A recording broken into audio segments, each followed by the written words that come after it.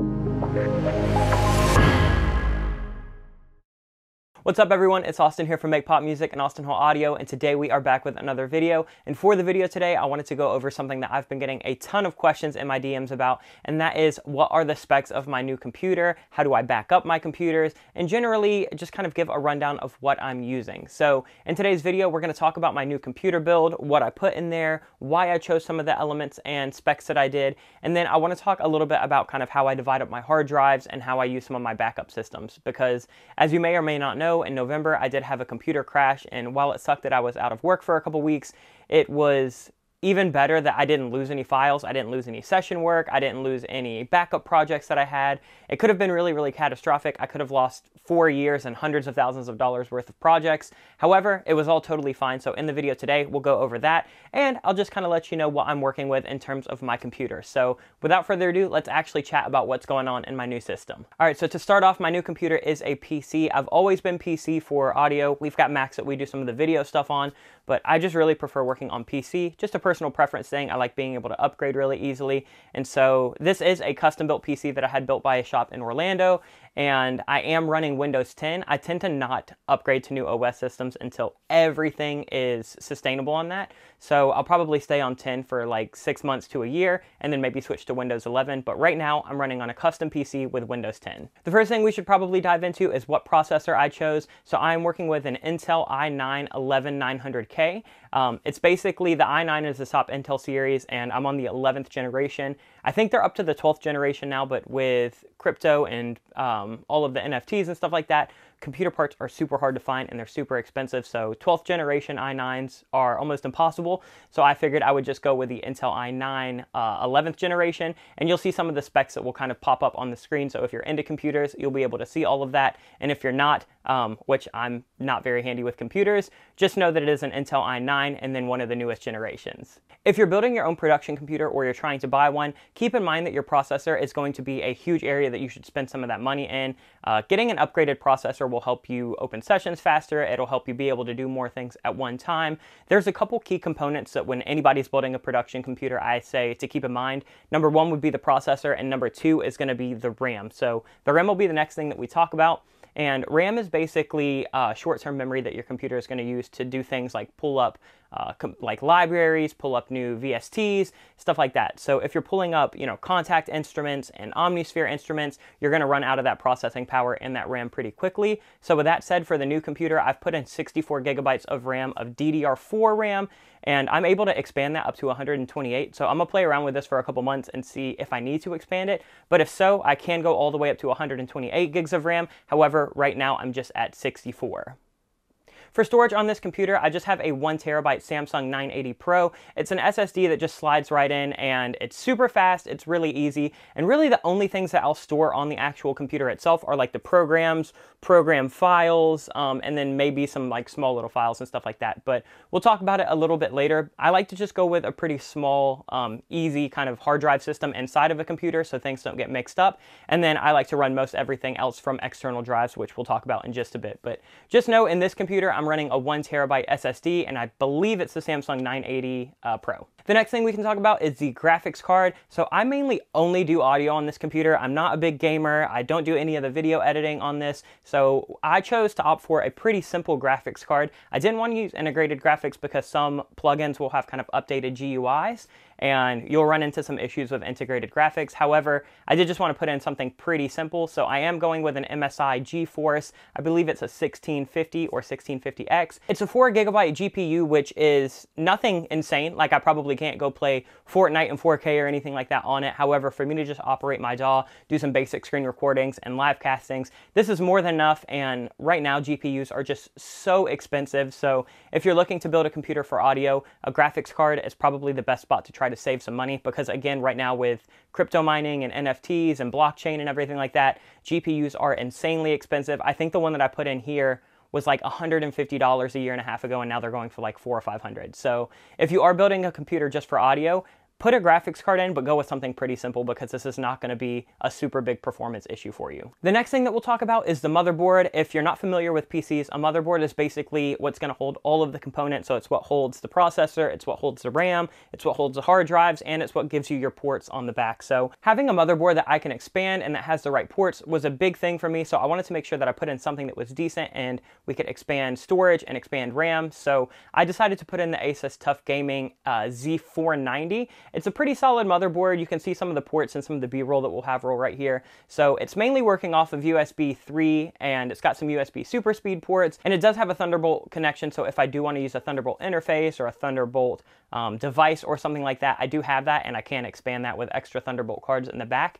And the reason I like this motherboard too is right now I do only have that one one terabyte SSD. However, I can put two more hard drives in this so I can have up to three hard drives, up to 128 gigs of RAM. And if I even wanted to, I could pop in another graphics card and have dual graphics cards working. So this gives me a ton of expandability. And as you can see with the case, it's just this big kind of glass panel, which we'll talk about in one second. But it's super easy for me to upgrade anything or take it into the local shop and have them upgrade trade. So I wanted a motherboard that was going to be a little bit future proof and I wasn't immediately going to just block the whole thing out. So the next thing we'll talk about is this case that it's in. You've been seeing B-roll of this case as the video has gone. This is the Deepcool case. I believe it's the Matrexx 50. Um, and basically, it's a super simple case. It's got a couple fans inside. I believe it's got three on the front, one on the back, and it fits my motherboard perfectly. It fits everything really, really nice. It's got the adjustable RGB lights in it, which is super nice. But the big thing is just accessibility. So with having that big glass panel on the side that I can easily just finger screw and pop on and off, it gives me a, a huge, huge chance to swap things out if I need to, or if something goes wrong with the computer, I can take it in and we're not gonna have to unscrew a million different parts. I actually had a computer that I bought after my last one crashed and before I built this new one that I thought was gonna be my permanent computer, but the case was horrible. The motherboard was really, really small and not expandable, and it ended up costing more money. So once I went into the shop and kind of worked with them, they made sure that I had the motherboard and even more importantly, the case that was gonna be super accessible for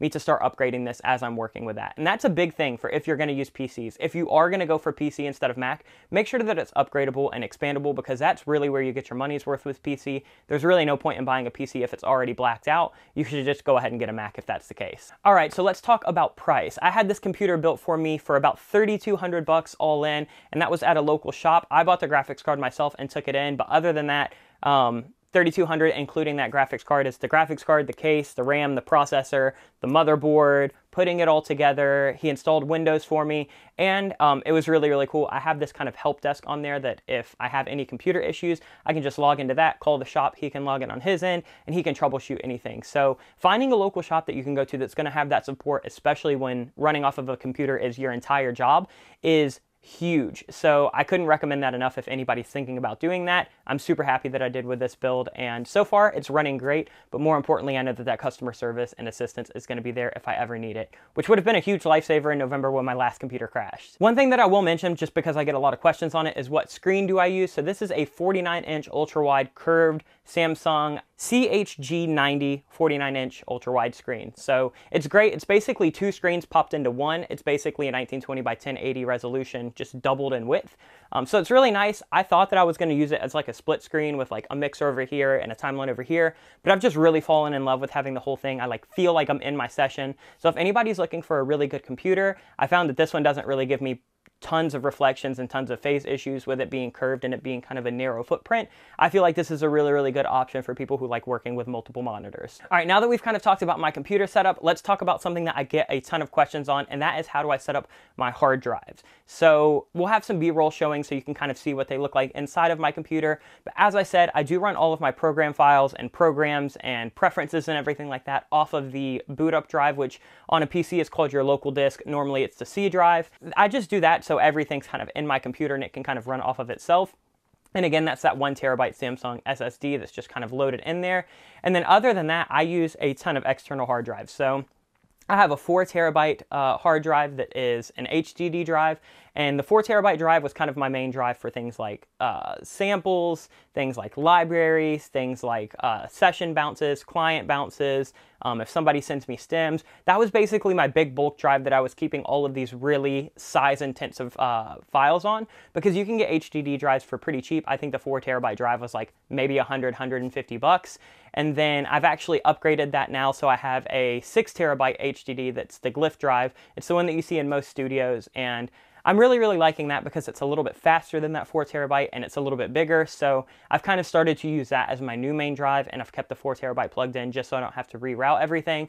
So right now, most of my um, like samples, most of my big libraries, like my Kontakt, my Omnisphere, my east-west stuff, that's all running from those HDDs, and I don't really find a big hangup. My computer's pretty fast and it can reach those pretty quick. However, I have heard some people have issues with loading some of those samples and libraries onto external drives, so maybe just keep that in mind. But more importantly, I'm running all of my sessions off of external SSDs, and I'm using these Samsung T5s. You can get these on Amazon for like 150, 200 bucks. I use one terabyte ones because I don't like running with hard drives that are so big that they take forever to fill up. That typically gives you more time to accidentally corrupt something or miss files. So typically I'll fill up a one terabyte SSD in like six to eight months of projects. And then once I fill it up, I'll just unplug it, pop a label on it with a date. And that way, if I ever need to go back to it, I have it. I just like running the external SSDs because they're portable. If I need to go to a studio or something like that, I can take my HDD and I can take my SSDs. And as long as they have my general programs downloaded in that studio, I'll be able to run pretty easily because I have the iLok and Cubase as a little dongle as well.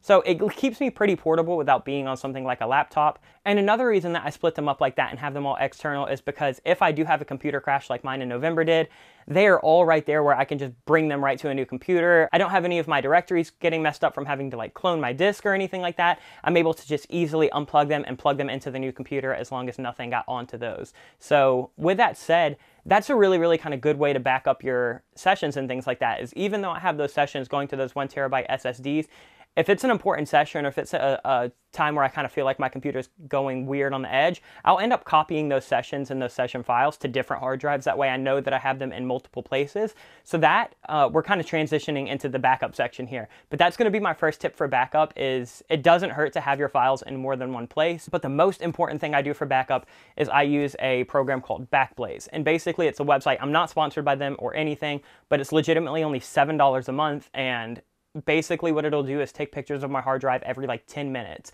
And so I've got my local C drive on there, I've got my two HDDs on there, I've got my two SSDs on there. So basically anytime I get a new hard drive, I just format it with Backblaze. There's a little uh, program that'll download to your computer.